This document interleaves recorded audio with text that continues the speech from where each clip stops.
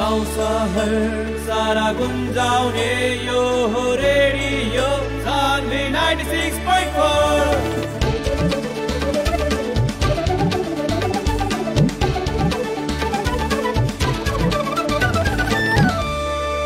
Radio Sandhi 96.4.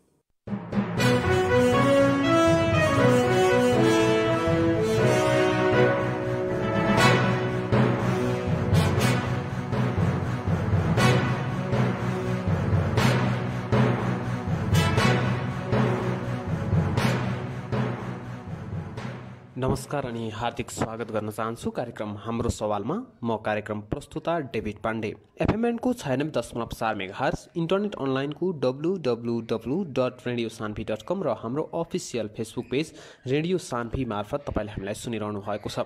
कार्यक्रम हाम्रो सवालमा रहेर हामीले शनिबारदेखि बिहिबारसम्म राति सवा नौ बजेदेखि दस बजेसम्म समसामयिक विषयवस्तुमा केन्द्रित रहेर विभिन्न व्यक्तित्वहरूसँग छलफल गर्नेछौँ परामर्श गर्नेछौँ। अहिले पछिल्लो केही दिन यता काङ्ग्रेसको महाधिवेशनको चटारो निकै तातिरहेको छ। यो अवस्थामा विभिन्न व्यक्तिहरू सभापतिको लागि दावेदार भइरहेका छन्। आखिर सभापति को भन्छ त? शेरबहादुर देउवा फेरि सभापति बन्छन् अथवा अरूको पल्टामा जान्छ?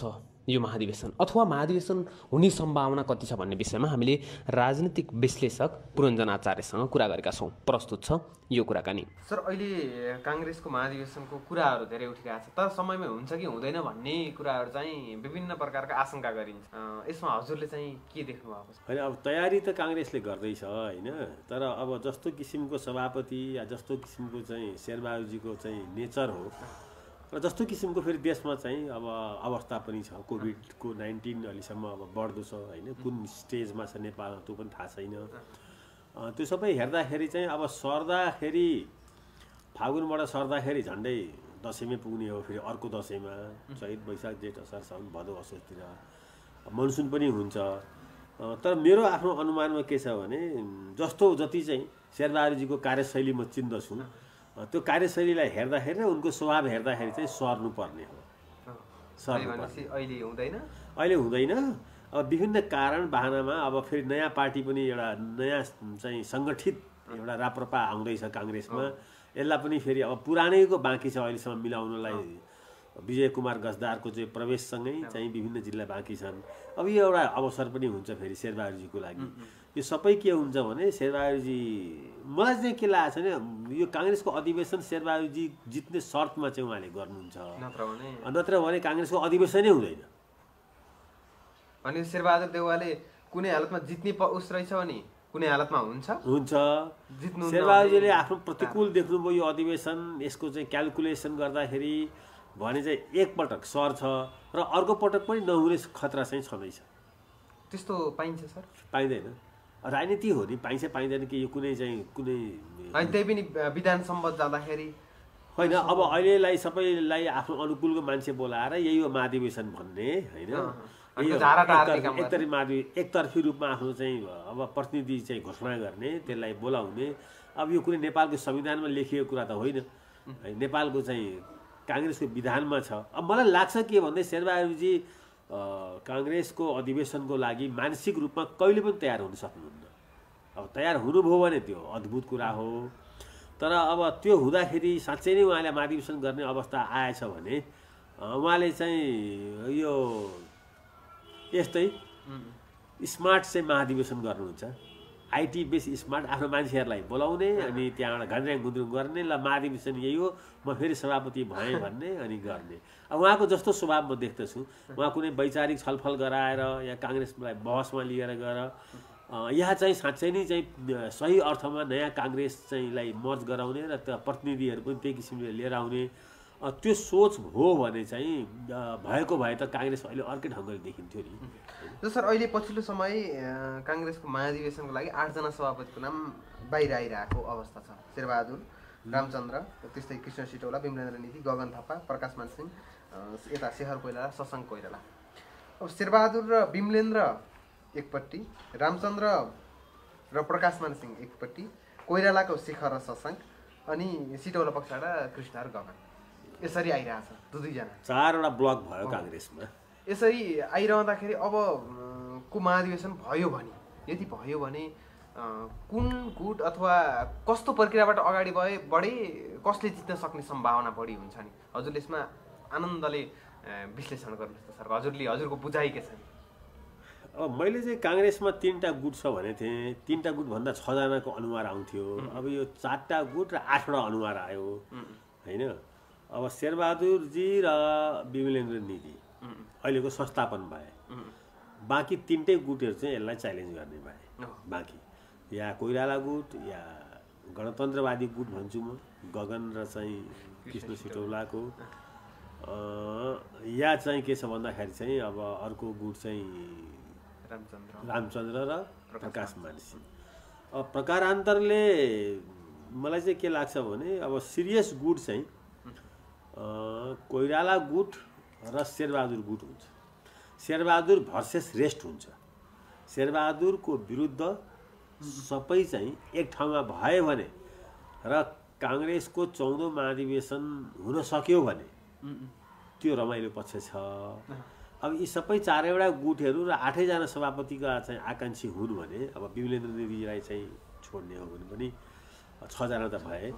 भयो भने चाहिँ त्यो चाहिँ त्यसको लागि चाहिँ शेरबहादुरजीलाई चाहिँ धेरै जालझेल गर्नु पर्दैन। यस्तो चाहिँ विभिन्न ठाउँबाट प्रवेश गराउने अनि विभिन्न किसिमले चाहिँ स्मार्ट चाहिँ र सर्ट चाहिँ महाधिवेशन गराउनु पर्दैन। यी सबैको चाहिँ उम्मेदवारी यसै गरी चाहिँ अझै चाहिँ दुई चार महिना कायम रहने हो भने मेरो विचारमा किनभने काङ्ग्रेस कार्यकर्ताहरू चाहिँ फ्रस्ट्रेट हुन्छन्।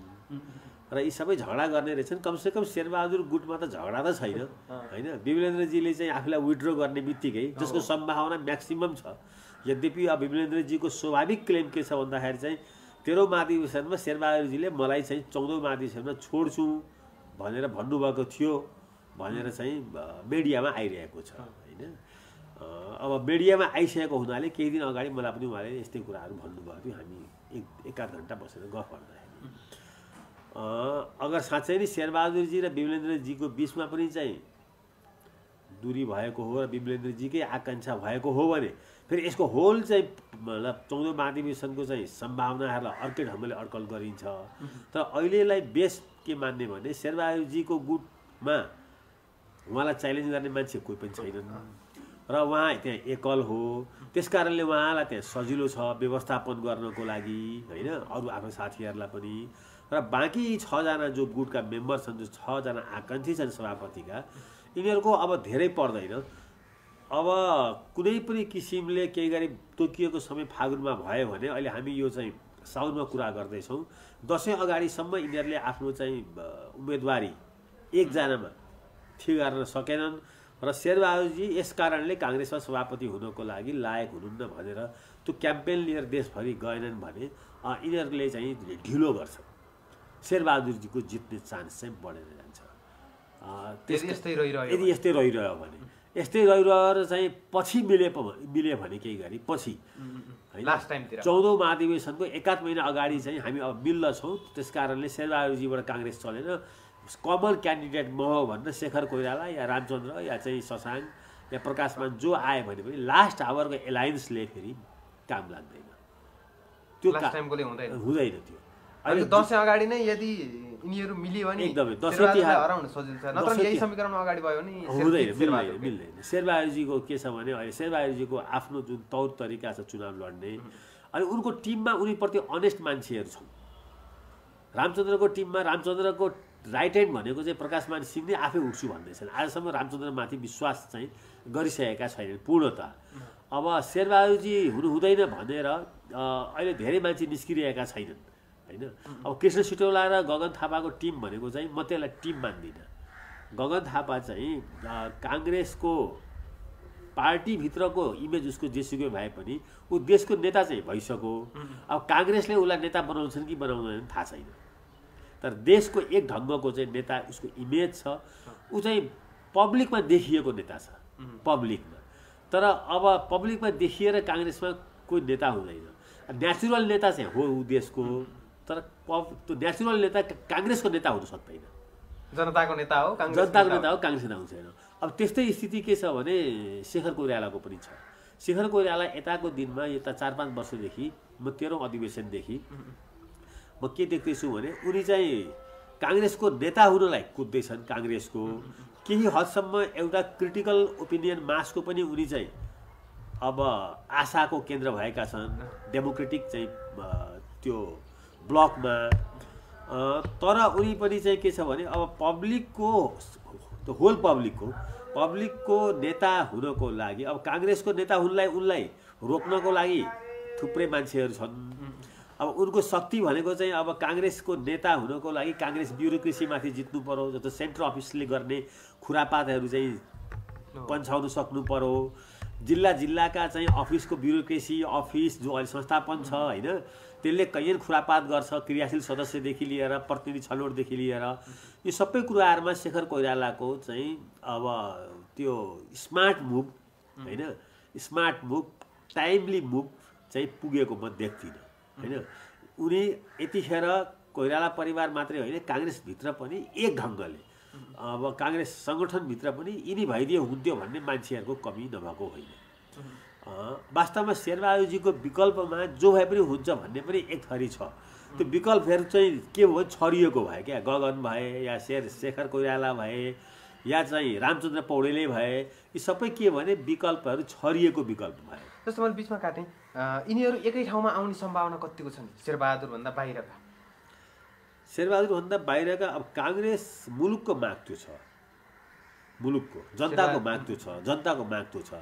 तर अब काङ्ग्रेस पार्टीभित्र जनताको नेता चाहिँ पार्टीको पनि नेता हुनसक्छ भन्ने कुराको अब त्यस्तो उदाहरणहरू छैन क्या। योभन्दा पहिले पनि अब गगन थापा डाक्टर शशाङ्क कोइरालासँग हारो महामन्त्रीमा नराम्रै गरी हारो होइन? अब जनताको नेता त थिए उनी तर शशाङ्क कोइराला चाहिँ जनताको पनि नेता छैनन् काङ्ग्रेस कार्यकर्ताहरूको पनि नेता छैनन्।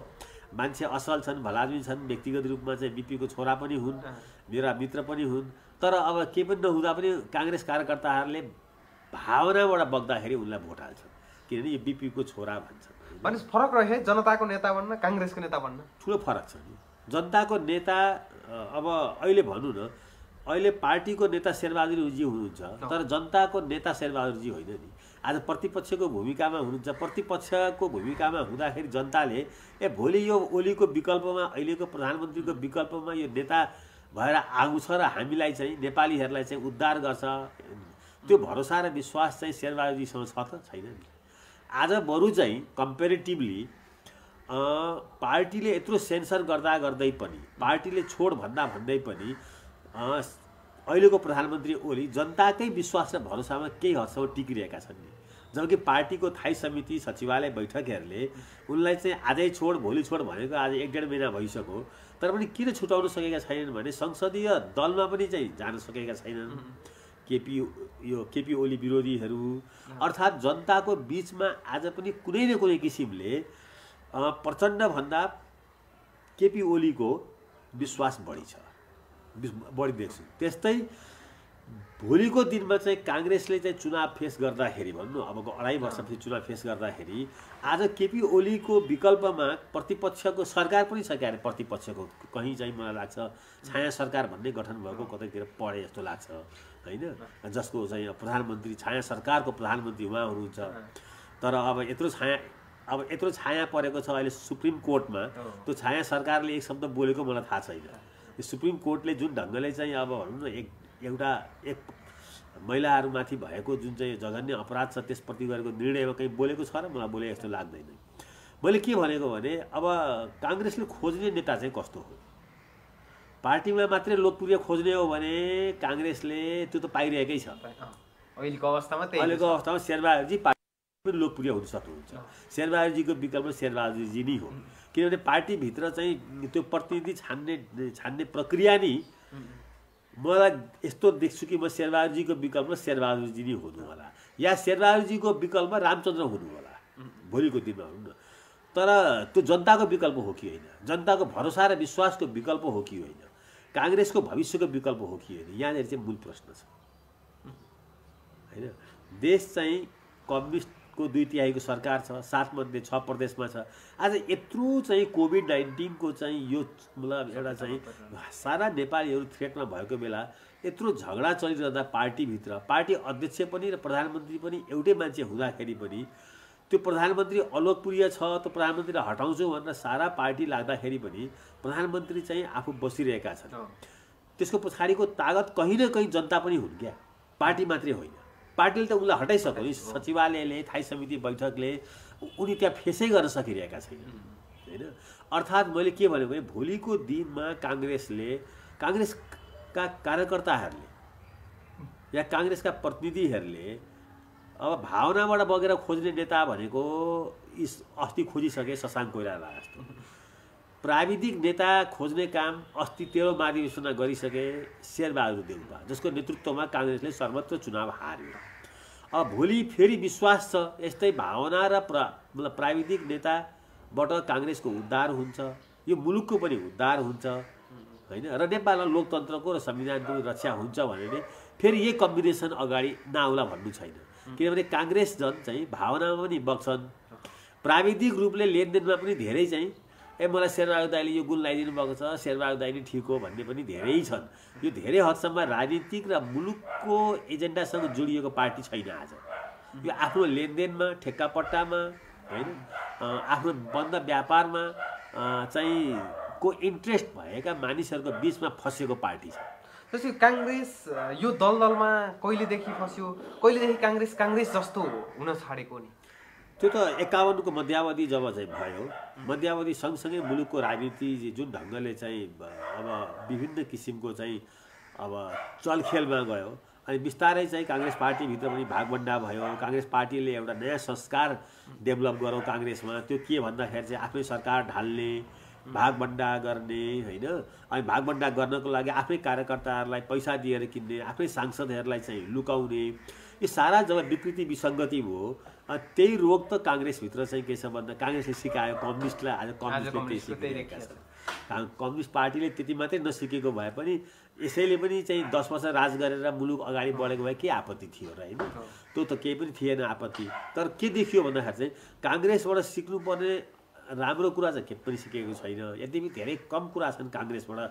छ्यालिस सालपछि राम्रो सिक्ने कुराहरू। तर काङ्ग्रेसबाट चाहिँ सिक्न नहु नपर्ने कम्युनिस्टहरूले चाहिँ धेरै कुराहरू सिके। र मलाई लाग्छ के छ भने अब यहाँसम्मको यात्रामा काङ्ग्रेसले आफूलाई अब कसको पार्टी बनाउने? आफ्नो गुटको गिरोहको पार्टी बनाउने कि चौध महाधिवेशनमा जनताको पार्टी बनाउने? अब बिपी कोइरालाले चाहिँ अब बिपी कोइरालालाई सम्झिनु पर्ने किन छ भने यही महिना बिपीको चाहिँ अब स्मृति दिवसहरू पनि धेरै धुमधामले मनाए। अब बिपीका सन्तानले पनि अब आफ्नै पितालाई कसरी सम्झिन्छन्? होइन? ती परिवारले काङ्ग्रेस दलले पनि बिपीको लागि स्मृति दिवसमा चाहिँ कसरी सम्झिन्छन्?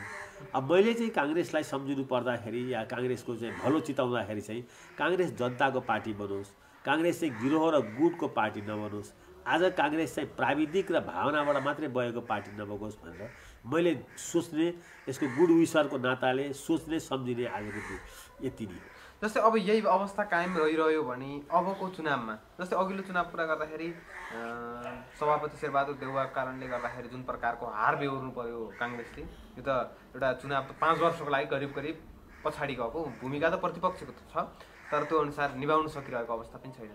अब फेरि यही अवस्था दोहोरियो भने त फेरि अर्को होइन चुनावमा। चुनावमा हारजित हुन्छ शेरबहादुरजीको पाला तर मात्रै जस लिन किन नसक्यो होइन पाला मात्रै काङ्ग्रेस हारेको होइन तर हारिसकेपछि शेरबहादुरजीले राजीनामा दिनु पर्थ्यो उहाँले त्यो केन्द्रीय कार्य समितिलाई त्यो जिम्मा लाउनु हो होइन सामूहिक जिम्मा त्यस्तो हुँदैन नेता हार्छ होइन। नेताको नीति हार्छ नेताको रणनीति हार्छ नेताको चाहिँ सारा कुरा हार्छ। पार्टीलाई जिम्मा लाउने जिम्मा लाउने बित्तिकै त्यो मान्छे चाहिँ त्यो नेता चाहिँ पार्टीमाथि वफादार छैन भन्ने बुझिन्छ। म म हारेको मेरो नीति मेरो रणनीति मेरो चाहिँ नेतृत्व हारेको भनेर पार्टीलाई चाहिँ रेस्क्यु गर्छ नेताले। शेरबहादुरजी त्यहाँ चुक्नु भएको छ र शेरबहादुरजीलाई त्यसमा साथ दिने यो जति पनि अहिलेको केन्द्र कार्य समिति छ यो नालायक छैन। यो केन्द्रीय कार्य समिति यस यसको स्टक अफ लिडरसिप यसका प्रभावशाली नेताहरू नै मेरो विचारमा आजको दिनमा काङ्ग्रेसलाई यिनीहरूले बन्धक बनाएर राखेको छ काङ्ग्रेसभित्र आउने फ्रेस कुरालाई। र यिनीहरू भोलि फेरि चाहिँ रिपिट भयो भने मलाई के लाग्छ भन्दाखेरि चाहिँ अब काङ्ग्रेसले त्यसपछि चाहिँ जनताको पार्टी हुनु जनताको बिचमा गएर चुनावमा लड्नको लागि कम्युनिस्ट कम्युनिस्ट पार्टी टुक्रा टुक्रा हुनुपर्छ। आफ्नो शक्तिमा यसले चाहिँ चुनाव जित्न सक्दैन। टुक्रा टुक्रा भएको कम्युनिस्ट पार्टी कम्युनिस्टहरूले एकले अर्कालाई चाहिँ बन्दुक हत्या गरिरहेको छन् भने काङ्ग्रेसले जित्ने हो। नभए चाहिँ अहिलेको स्टक अफ लिडरसिप या जुन जसले आजभन्दा अढाई वर्ष अगाडि चुनावलाई नेतृत्व दिए म यो त्यो भन्दिनँ। यसमा शेरबहादुरजी मात्रै दोषी हुनुहुन्न। यसमा चाहिँ यो त्यो स्टक अफ लिडरसिप टपका यसमा दुईवटा हुन्छ। एउटा काङ्ग्रेसको पार्टी सत्तामा बसेर नीति निर्माण गर्ने जो छ्यालिस सालदेखि एउटै अनुहार छन् होइन? तिनीहरूको नाम किन भन्नु? र अर्को चाहिँ देशको राज्य सत्तामा बसेर नीति निर्माण गर्नेहरू। एउटा पार्टीको सत्तामा पनि क्याप्चर गरेका छन् अर्को देशकोमा पनि। ती मानिसहरू काङ्ग्रेसमा आँखा अगाडि दसदेखि पन्ध्रजना छन्। ती सबैले चाहिँ छोडिदिनुपर्छ काङ्ग्रेस। नत्र नि अब पनि दोहोरी नि। अब काङ्ग्रेस ती सबै चाहिँ पैँसठी र सत्तरीको सत्तर पचहत्तर वर्ष भइसके। एक त उमेरले पनि चाहिँ तिनीहरू अब रिटायर्ड हुनको लागि चाहिँ भन्दछ होइन? वास्तवमा उनीहरूले काङ्ग्रेसलाई र यो मुलुकलाई गर्ने हित भनेको अघि अघि लिएको ना अधिकांश नामहरू चाहिँ केही अपवाद बाहेक सबैले चाहिँ के छ भने अब हामी काङ्ग्रेसलाई चाहिँ रोक्दैनौँ काङ्ग्रेसमा फ्रेस एयर ल्याउँछौँ भनेर चाहिँ छोडिदिनु पर्ने हो। छोड्दाखेरि चाहिँ मलाई के लाग्छ भने यी यी चाहिँ मान्छेहरू जो जो चाहिँ अब अनुहारहरू मान्छेले हेर्दा हेर्दा हेर्दा वाक्क भइसक्यो। मान्छे अब अहिलेको नयाँ पिँढीले होइन नयाँ पिँढीले अब चाहिँ यही नामहरू जो चाहिँ आज तिस वर्षदेखि सुन्दैछ र त्यो तिस वर्ष अगाडि सुनेको मान्छे त आज पचास वर्ष भइसक्यो भने अहिलेको यो बिस पच्चिस तिस वर्षको मान्छेहरू यो जो अनुहार देख्दछ तिनीहरूलाई लिएर चाहिँ आफू चाहिँ काङ्ग्रेससँग जोडिन तयार हुँदैन। त्यसै कारण एउटा फ्रेस नाम फ्रेस नाम जो पनि हुनसक्छ होइन? तर टेस्टेड मान्छेहरू फेरि रिपिट गरेर काङ्ग्रेसको चौधौँ महाधिवेशन एउटा सुवर्ण अवसर छ।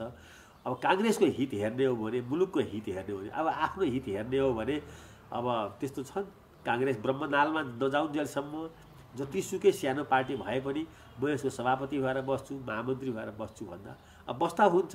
अब विकल्प अहिले धेरै कम हुँदैछ तर अब थुप्रै विकल्पहरू चाहिँ घचघचाइरहेछन् अबको अब- विकल्प भनेको थुप्रै विकल्पहरूले घचघचाइरहेको छ कि काङ्ग्रेसको विकल्पमा।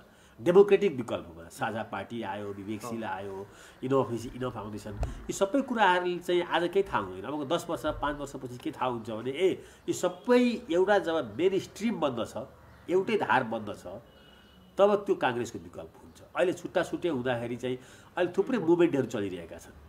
थुप्रै मुभमेन्टहरू चलिरहेछन् यी सबै मुभमेन्टहरूले अहिले चाहिँ कसैको पनि राजनीतिक विकल्प बन्न सक्दैन। यिनीहरू कसैले पनि एउटा ठोस एउटा न्यारेटिभ डेभलप गर्न सकेको छैन तत्कालको अहिलेको। अवस्थामा। छैन। तर यी सबैले के गरेर म्यासेज के दिइरहेका छन् भने काङ्ग्रेसको विकल्प बन्दैछ है भन्ने चाहे त्यो गोविन्द केसीको चाहिँ एउटा सामाजिक अभियन्ताको मुभमेन्ट होस् चाहे इनफ इस इनफको चाहिँ ईको चाहिँ एउटा चाहिँ भनौँ न एउटा युवाहरूको मुभमेन्ट होस् चाहे विवेकशील साझाको चाहिँ टेस्टेड मुभमेन्ट होस् अस्तिको दिनमा चाहिँ लोकल इलेक्सनमा भाग लिएका छन् चाहे साझा पार्टी यी सबै मुभमेन्टहरू के हुन् भने काङ्ग्रेस मिडल क्लासबाट निस्केको पार्टी हो। यो अल्टिमेटली यो कम्युनिस्टको विकल्प बन्न सक्दैन कम्युनिस्ट क्याडर्स बेस हुन्छ। अब जनतामा चाहिँ नजाने काङ्ग्रेसको नेतृत्व पटक पटक आइरहेको छ र जनतामा जान सक्दैन भने प्राविधिक रूपमा कार्यकर्ताको मात्रै चाहिँ नेतृत्व चाहिँ जित जितेर आउँछ भने त्यो जनताको बिचमा लोकप्रिय पनि हुँदैन। तर जनतामा जाने यस्ता यी साना साना समूहहरू जब एउटा नेसनल पार्टीको रूपमा अगाडि आउँछन् तब चाहिँ के हुन्छ भने काङ्ग्रेस त्यतिखेर थाहै पाउँदैन। यो कतिखेर चाहिँ आफू चाहिँ सिद्धिए किन सिद्धिए भनेर चाहिँ उयो अब पिएचडी गर्ने अरे अध्ययन अनुसन्धानको विषय हुन्छ। त्यसै कारणले चाहिँ चौधौँ महाधिवेशन काङ्ग्रेसको हितमा काङ्ग्रेसले सोच्ने हो भने अहिलेका थकित गलित रिटायर्ड नेताहरूले सोच्ने हो भने काङ्ग्रेसमाथि च्यालेन्ज आउँदैन। त्यो यसैलाई पल्टाउनु चाहिँ कम्युनिस्टमा सकिन्छ। कम्युनिस्टहरू चाहिँ टुटे फुटेका हुन्छन् आपसी झगडामा हुन्छ र यी सबै चाहिँ काङ्ग्रेसको विकल्प अर्को डेमोक्रेटिक पार्टी हुनसक्छ। कम्युनिस्ट मुभमेन्ट नेपालको कमजोर हुनसक्छ।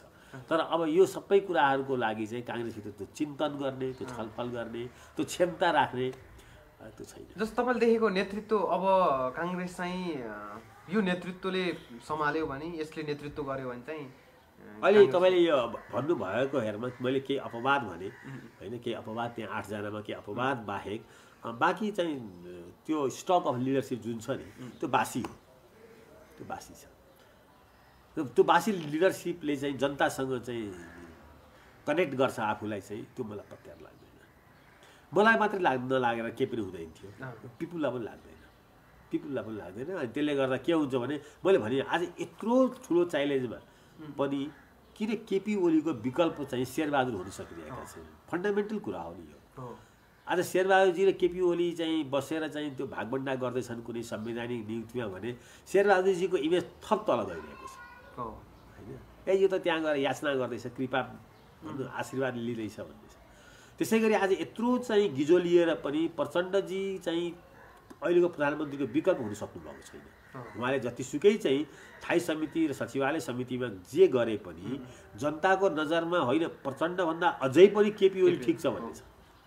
त्यो छ। त्यो म कुनै केपी ओलीजीलाई प्रति म धेरै चाहिँ के छ भने सफ्ट भएर भनिरहेको छैन। पिपुलको बिचमा यो छ।